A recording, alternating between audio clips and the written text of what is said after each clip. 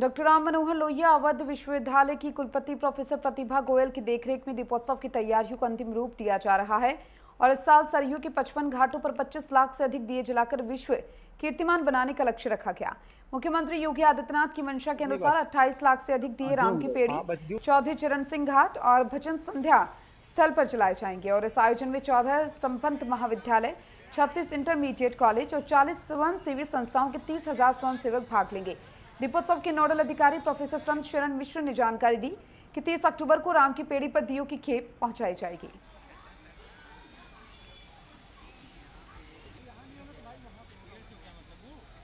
होने वाले दीप उत्सव की तैयारियाँ बहुत जोरों शोरों पर है। इस समय हम घाट पर मौजूद है, जहाँ पर 28 लाख दीप से दुल्हन की तरह जगमगाएगी अयोध्या नगरी। हम आज नेटवर्क टेन की टीम द्वारा यहाँ पर पहुँच चुके हैं और यहाँ पर पहुँच करके घाटों पर ये देख रहे हैं, घाटों का पूरा ही बहुत अच्छी तरीके से साफ़ साफ़ सफ़ाई, सजावट का दिव्य व्यवस्था कर दिया गया है। लेजर शो की बात कर लिया जाए, लेजर शो बहुत ही दिव्य और भव्य और विश्व रिकॉर्ड बनाने जा रहा है।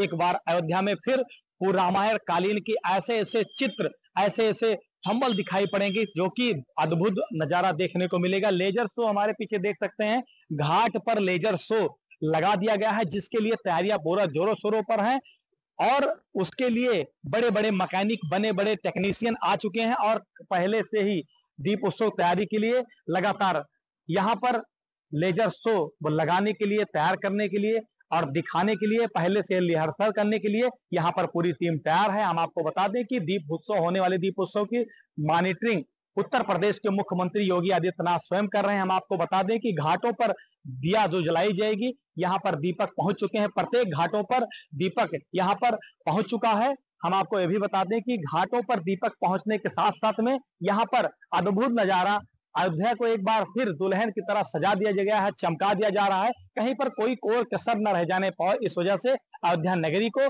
एक बार फिर दुल्हन की तरह सजा दिया गया है। हम आपको बता दें कि होने वाले दीप उत्सव को लेकर अधिकारी जिला अधिकारी मेयर या भाजपा के कई बड़े बड़े पदाधिकारी व विधायक और अयोध्या ज़िले के मेयर द्वारा लगातार मॉनिटरिंग की जा रही।